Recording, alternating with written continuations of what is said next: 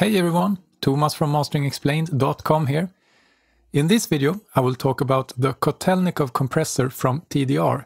This is a plugin that comes in both a free version and a paid version. And the free version is really, really good, but there are some unique features of the Kotelnikov GE that are really useful for mastering. So let's have a look at that.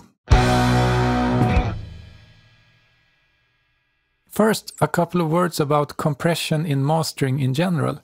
I find it quite rare to actually need to compress a mix, that is, to make it less dynamic, because most modern mixes are not overly dynamic. It's often the opposite actually.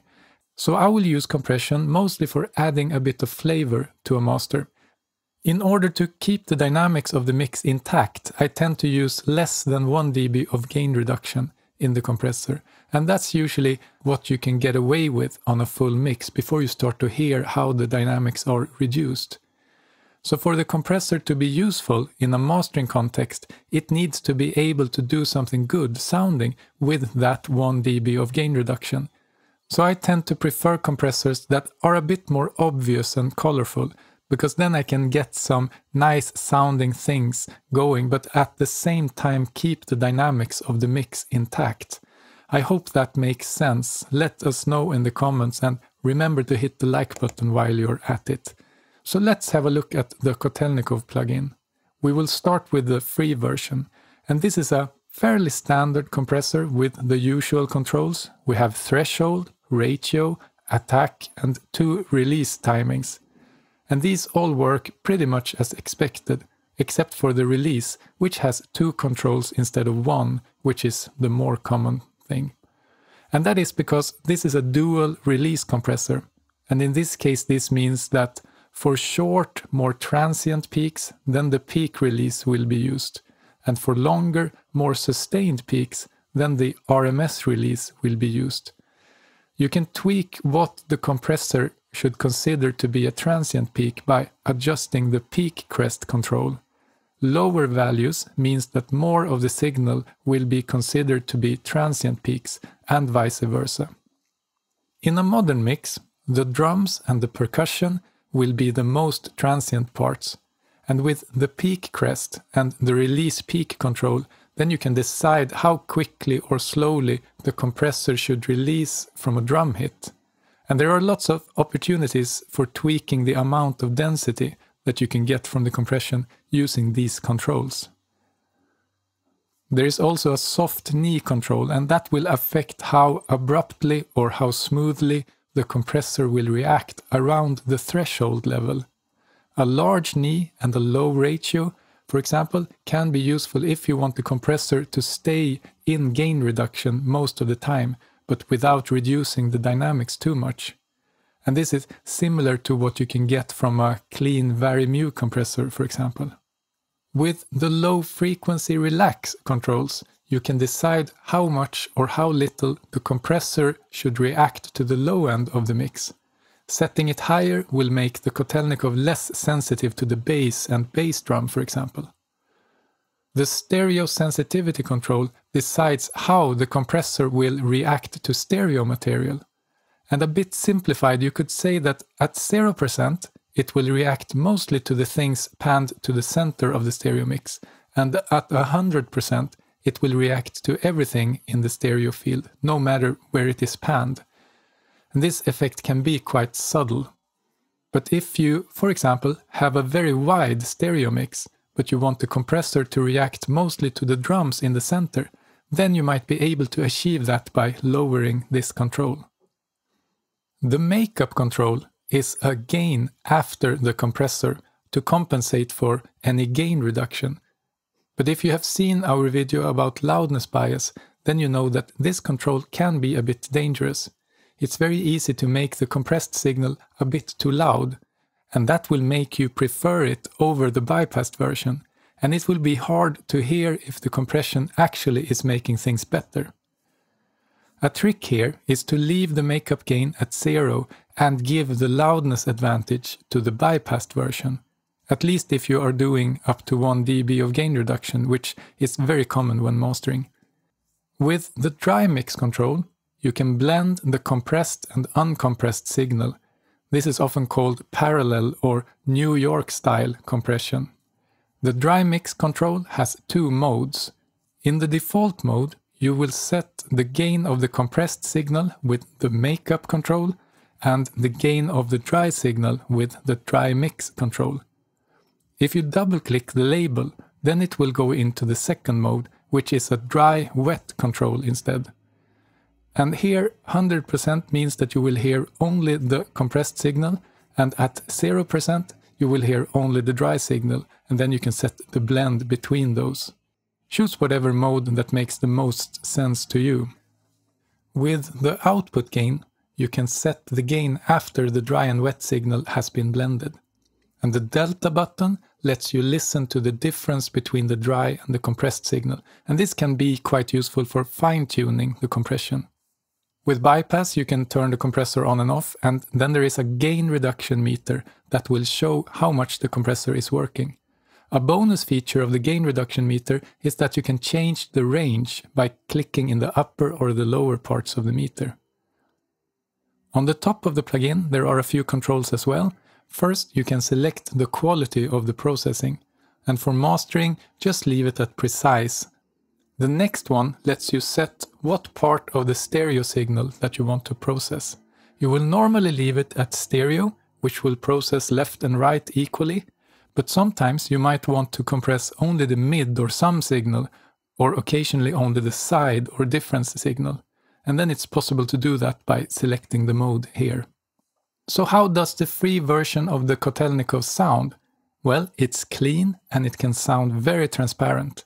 And once upon a time, clean sounding digital compressors used to be quite rare, because the difficult thing with digital compression is to deal with the highly nonlinear things that happens in the sidechain and when changing gain dynamically. And this is a very technical subject, but I can recommend that you read the manual to the Kotelnikov if you want to learn more about this. A lot of the bad reputation that plugins and digital processing in general have compared to analog processing. It comes from these difficulties. TDR seemed to have these things under control though. Actually, one of the first really clean sounding digital compressors that I heard was an earlier compressor from TDR called Feedback Compressor 2. So the Kotelnikov is a very clean compressor in the sense that it lacks any of the ugly artifacts that can come from digital compression. It is also very clean in the sense that it lacks some of the artifacts associated with compression in general. So when I need a transparent compression that is actually reducing the dynamics, then the Kotelnikov is one of my favorites, both the free and the paid version. But when I'm doing the more subtle types of compression with very little gain reduction, that I usually do when I'm mastering, then the free version of Kotelnikov can be almost too transparent and too subtle. And that's where the Kotelnikov GE comes in. And as you can see, it is very similar to the free version, but it has some additional controls as well. So let's start with these two controls, yin and yang. With these you can make the compression less transparent and add more harmonics while compressing.